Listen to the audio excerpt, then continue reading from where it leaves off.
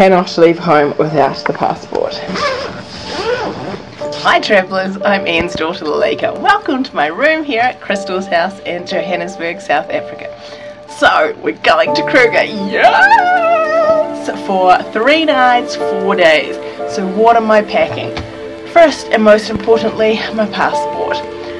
We are self-driving. I am only going to take my suitcase, my carry-on behind me here my it luggage. We're actually staying outside of Kruger now. I'm sure a forthcoming video will show you about some of our adventures in Kruger, so please consider subscribing as I post new videos every week giving tips and strategies that may help enhance your travel experiences.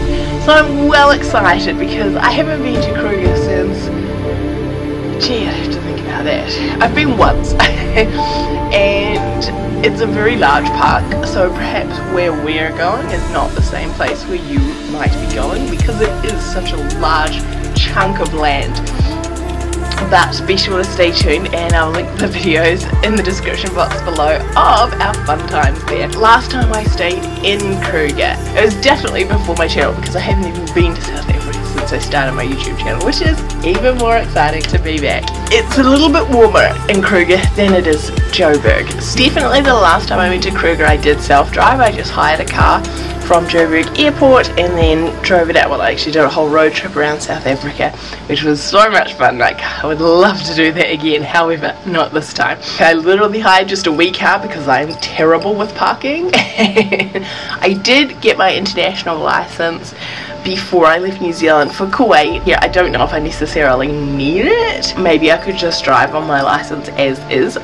That I'm actually not sure about. We also did buy a safari, so like the early morning one, and I think we did an evening one too for memory that we paid additionally for and then you get to go out in the trucks with the actual trackers and you know because they talk to each other then there's just a much better chance of animal spotting so I would also recommend that but you can totally self-drive I'm really hoping to see a leopard and if you've seen my videos of Sri Lanka if you've been following along then you'll know that I didn't see a leopard in Sri Lanka but I'm quite disappointed about so I really need one here.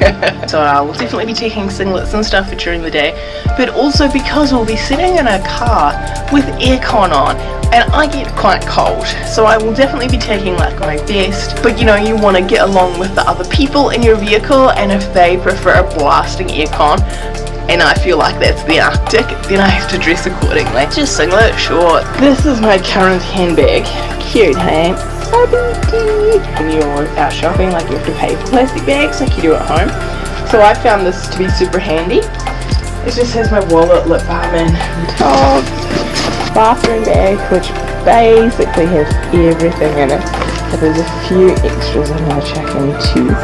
This is cords and things charges the wear bag I said four days three nights there's a few things that I want to take bathroom bag wise that I still need for my shower in the morning before we go so I will actually make a little list of like face moisturizer body moisturizer to remind myself tomorrow morning I need to check this in before we leave. PJs. Okay, so that's one, two, three. I'll be taking sunscreen too. Definitely shoving in the bottom. This is long sleeve black top, just pretty standard affair. Now usually I employ the KonMari method of folding, as you've seen with my other packing videos. But because this is an unstructured packing cube and I don't like it, ah,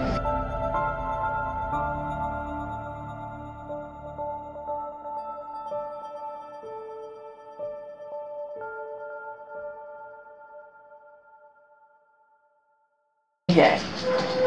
Jeans are out. Yippee! Alright, let's zip it up. Now, weight is not an issue because we are driving. Yippee! And I just want it all to just jam in. Yeah. So when I arrive, first thing is the PJs on top, which is great. Should take after the same amount of room. We're ready to go. Four days, three nights looking good. Now, what am I wearing in the car tomorrow? I am almost Kruger ready. Yes, yes, yes. Let's go! Alright, it is the morning of. It is 5.40 a.m. Showered, dressed. Just throwing the last things in.